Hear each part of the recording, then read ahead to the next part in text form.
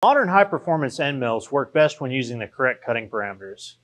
To take your machining to the next level, it's vital to understand how these values work together in order to make high-quality parts efficiently.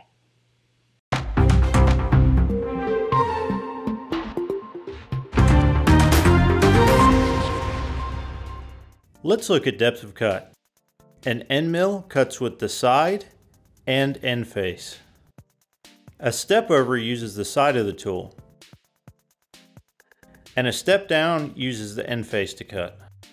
Most end mill operations will cut with the side and end face at the same time.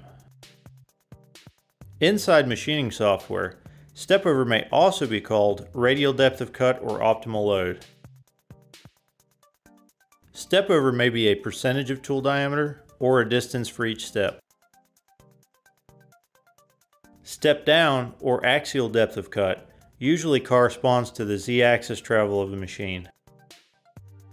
Taking even steps keeps a constant amount of force on the tool and removes wasted motion. End mills are designed with certain features to handle different depths of cut. Tools with less flutes usually have more distance between their cutting edges. This leaves space for material to go during the cut for increased step over up to full slotting. Most 2 and 3 flutes are designed for soft materials like aluminum. Tools with more flutes have less chip space, but have extra cutting edges. These are usually designed for hard and abrasive materials. The extra edges help survive heat and wear. In most situations, roughing removes the bulk of material, and then a final cut leaves a smooth finish.